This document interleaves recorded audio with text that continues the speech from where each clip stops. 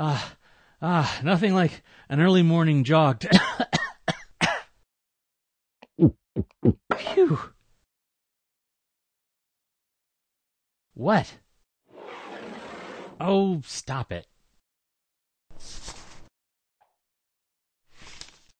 Dear Tim and Moby, I've been hearing lots of scary stuff in the news about the coronavirus.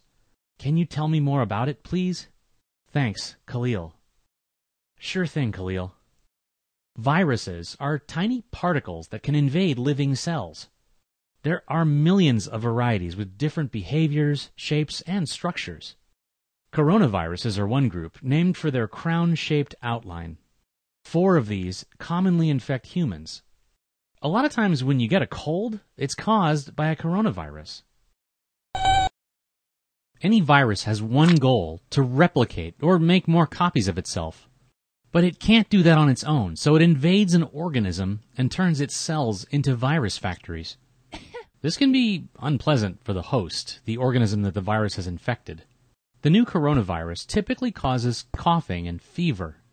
A healthy body can usually fight off this illness, known as COVID 19, on its own. Symptoms are mild for most people, especially kids. But in a body with weakened defenses, COVID 19 can become more severe and require medical treatment.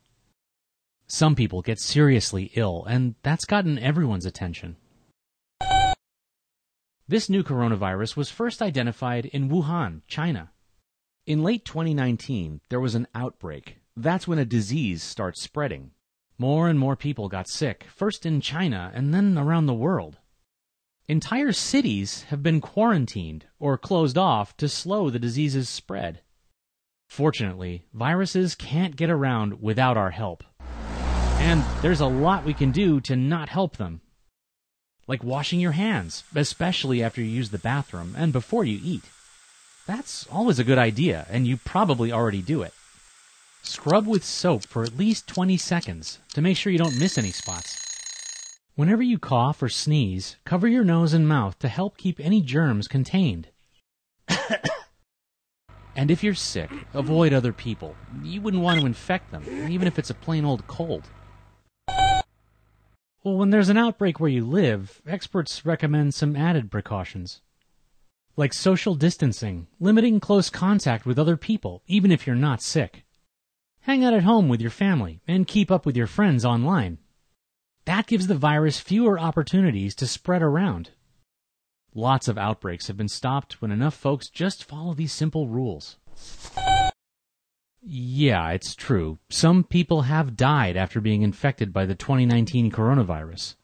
That's because the virus can infect a person's lungs and make it hard to breathe. Those are the stories we hear about most online and in the news. But the vast majority of cases have been mild.